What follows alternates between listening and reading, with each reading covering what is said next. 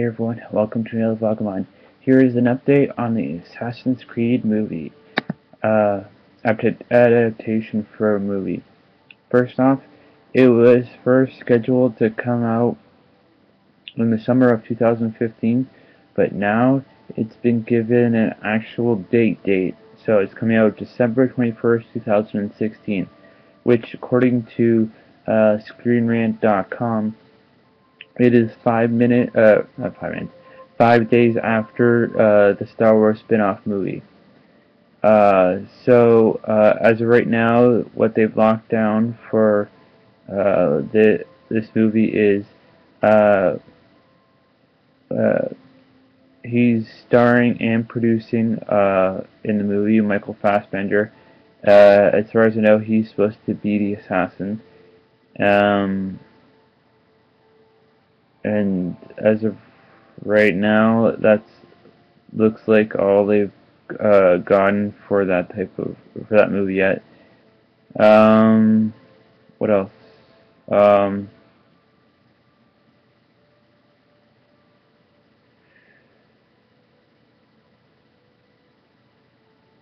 so according to, the, I'm just going to read what it says on uh, ScreenRant.com.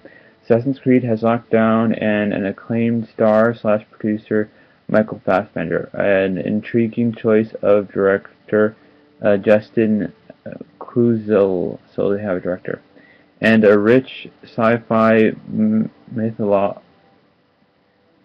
I don't know how to say it, whatever, interesting to draw from, uh, which is promising news for those who are hoping it could help uh, and help to usher in a renaissance in the video game cinema uh, genre. Not exactly a genre known for its artistic um, stuff, but uh, the project could also become Ubisoft Motion Pictures um, Iron Man, so it's not no, it, so no surprise there, but still encouraging to see the Fox and Ubisoft uh, are taking their time with this film. So it looks like they're really trying to make this the best film that it could possibly be.